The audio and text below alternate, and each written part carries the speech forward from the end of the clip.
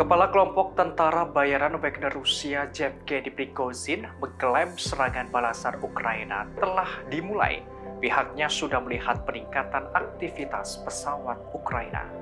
Dikutip dari Kompas.com pada Kamis 4 Mei, Yevgeny Prigozhin menjelaskan peningkatan aktivitas militer Ukraina terjadi di sekeliling sudah tampak.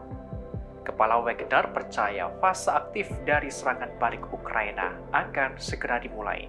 Ia memperkirakan fase aktif ini akan berlangsung dalam beberapa hari ke depan. Selain itu, Prigozhin mengeluhkan bahwa pasukan Ukraina bergerak di luar perbatasan bersejarah Ukraina. Ia menjelaskan bahwa yang dimaksud adalah insiden yang melibatkan drone dan kereta api.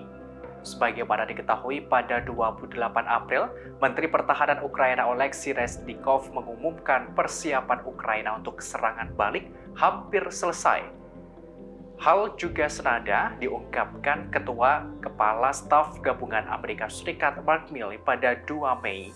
Ia menerangkan pasukan Ukraina telah siap untuk menyerang berkat bantuan dari pemerintah barat.